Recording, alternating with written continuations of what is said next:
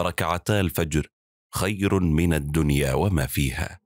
حديث شريف يبين فضل سنة صلاة الفجر خير من الدنيا وما فيها.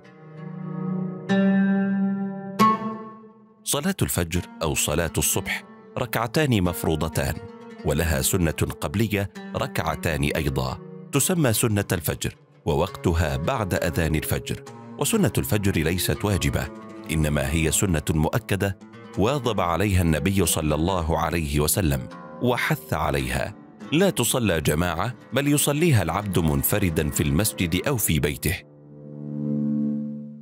ولعظم مكانتها أقسم بها الله.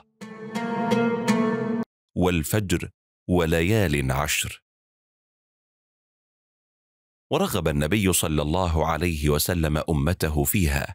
لو يعلم الناس ما في النداء والصف الأول ثم لم يجدوا إلا أن يستهموا عليه لاستهموا ولو يعلمون ما في التهجير لاستبقوا إليه ولو يعلمون ما في العتمة والصبح لأتوهما ولو حبوا.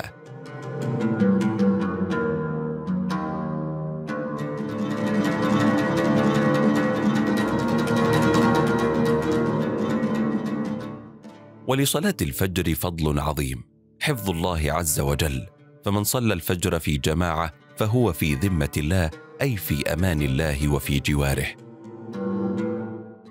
من صلى الصبح فهو في ذمة الله. وصلاة الفجر في جماعة تورث صاحبها نورا يوم القيامة. بشر المشائين في الظلم إلى المساجد بنور من الله يوم القيامة. هل صليتم فجر اليوم في جماعة؟